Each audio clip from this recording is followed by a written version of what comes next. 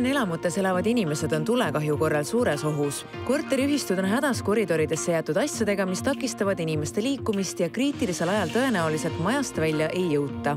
see trahv läheb selle asja omanikule ruumipuuduse käes vaevelnud Tallinna spordihall saab tänavu sügiseks juurdeehituse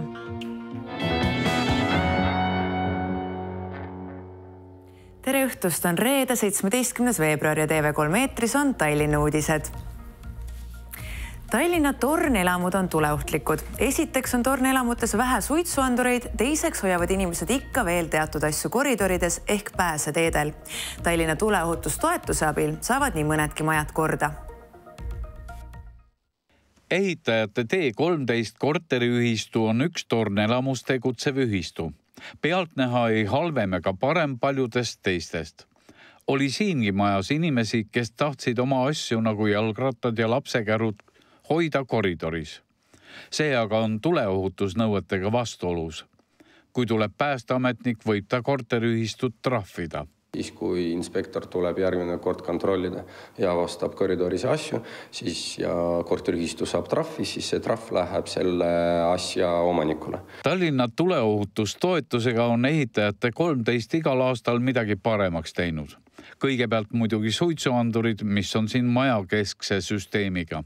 siis on korteriühistu ehitanud tagavara väljapääsu koos tulekindlate ustega, mis avanevad ainult trepikoja poole. teate, T13 korteriühistus on paigaldatud aknad, mis tulekahju korral ise avanevad, et suits saaks majast välja see pole siiski kõik, mis on vajalik tänapäevase tuleohutuse tagamiseks koridoride puidust vaheuksed tuleb vahetada tulekindlamate vastu. Tallinn annab tuleohutustoetusega abi mitmel puhul. kui on tegemist äh, just äh, kuueteistkorruseliste majadega, et nad on saanud äh, päästeametilt ettekirjutuse, siis nende ettekirjutuses fikseeritud asjaolude kõrvaldamiseks on siin siis tuletõkketsoonid tuletõrjesüsteemide, voolikute asendamine, parandamine, sellised tegevused. tänavu on Tallinn eraldanud tuleohutustoetusteks sada kümme tuhat eurot.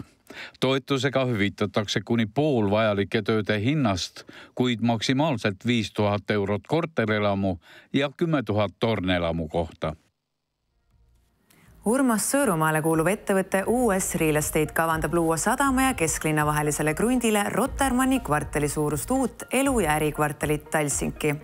uus keskkond peaks looma mugava ühenduse liikumaks jalgsi sadama ja südalinna vahet.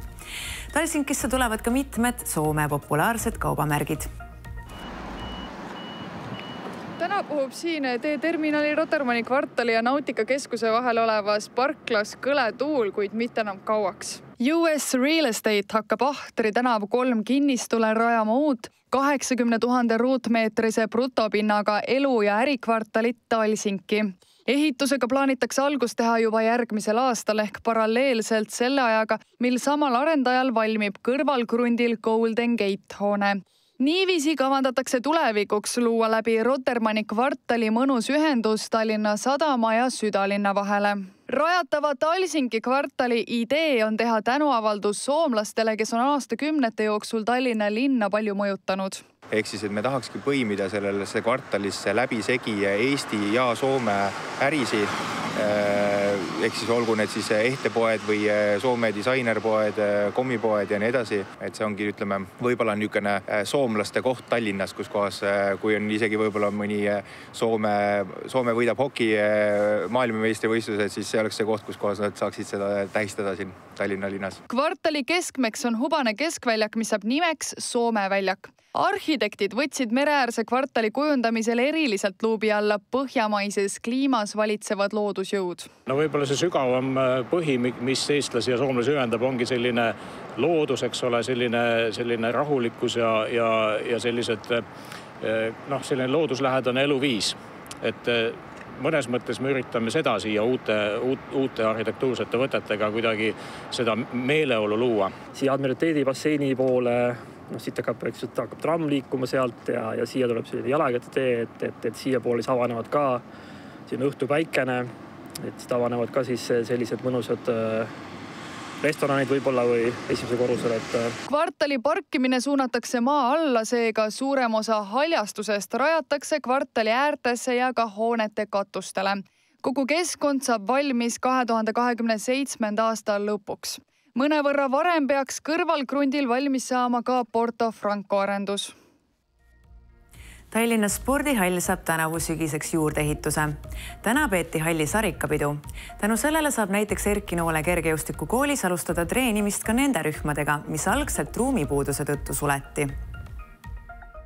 Tallinna spordihalli remont ja juurdeehitus loovad pealinnas treenivatele noorsportlastele ja harrastajatele tulevikus uued kaasaegsed harjutamistingimused ning mis veelgi olulisem, on lootus, et spordihallis aastaid valitsenud ruumipuudus on varsti mõõdanik võtame ka tribüüni äh, pinna äh, treeninguteks kasutuseks. Äh, samad pallimänguväljakud, kus me praegu seisame, saavad väikelaste harjutus, kergejõustiku siis harjutuspinnaks ja, ja muudame ka logistikat ja kindlasti, mis on väga oluline, et tuleb päris suur hulk täiendavaid riietusruume siia juurde. kui me vaatame seda, et me panime selle selleks aastaks, kui nüüd see remont käima läks logistika pärast, sulgesime üheksa treeninggruppi, mis on väga-väga palju lapsi, siis kindlasti need kõik üheksa treeninggruppi tulevad tagasi ja ma arvan, et meil tuleb ka lisatreeninggruppe. spordihalli direktor Jüri Torbeku ütleb, et noorsportlastest ja harrastajatest meil puudust ei ole. pigem vajab Tallinn veel juurde suuremaid spordikomplekse, nagu on ujula ja mitmete saalidega varustatud Sõle spordikeskus. meie jaoks on see kindlasti pea, lisapeavalu, sellepärast et me peame seda infrastruktuuri kuidagi välja ehitama, neid objekte pakkuma, neid sportimisvõimalusi pakkuma inimestele aga see on selline, ütleme, meeldiv peavalu nagu, et äh, me saame aru, et see on hästi vajalik ja oluline ja kindlasti mõtleme selle peale, et äh, mida me teeme järgmisena. Tallinna spordihalli remondiprojekti maksumus on kolmteist miljonit eurot ning on seega selle aasta suurim Tallinna linna spordiga seonduv investeering. spordihalli taasavamine on planeeritud kahe tuhande kahekümne kolmanda aasta sügisesse välisturism Tallinnas on taastumas, kuid jääb veel alla koroonaeelsele ajale. peamiselt saabutakse Tallinnasse puhkusereisidele ja suurem osa turiste tuleb Soomest. samas on koroonaaeg andnud tõuke siseturismi arengule. rohkem kui kunagi varem on just kohalik Eesti inimene leidnud üles Tallinna kui võimaliku turismikoha Metropol spa hotellis Rotermanni kvartalis on Eesti turist nüüd juba üsna tavaline klient. kuid selleks, et kohalikud pealinna hotelli tuleksid, tuli koroonapandeemia saabudes, kui välisturistid ära kadusid, teha jõupingutusi kui enne koroonat äh, võiks öelda, et me nautisime seda loomulikku nõudlust, siis me esimest korda koroona alguses äh, keskendusime just siseturismi turundusele. praktiliselt see turundus oli niivõrd õigeaegne, et äh, me suutsime tähelepanu äratada ja see tähelepanu on siis siiamaani ennast ära tasunud viimased andmed näitavad, et võrreldes pandeemiaeelse ehk kahe tuhande üheksateistkümnenda aastaga ööbis eelmisel aastal Tallinna majutusasutustes tervelt nelikümmend kaheksa protsenti rohkem siseturiste.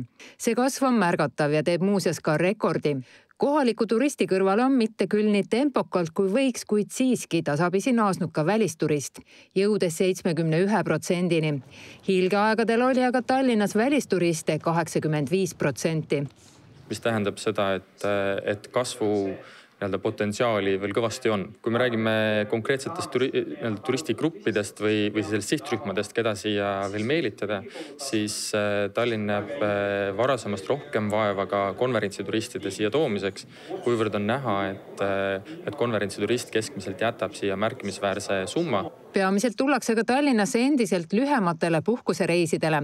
Metropol spa hotellis peatutakse näiteks keskmiselt kaks ööpäeva. kõige rohkem saabutakse Tallinnasse ikka Soomest, Lätist ja seejärel Saksamaalt. tämmöinen päivä, päiväristeily. Päiväristeily. Parturissa kävin ja... Nyt mennään syömään. Mihin? Ei, ei, vielä, ei ole vielä keksitty mihin. Ei kolme vuoteen nyt käyty, että... No mikä on muuttunut?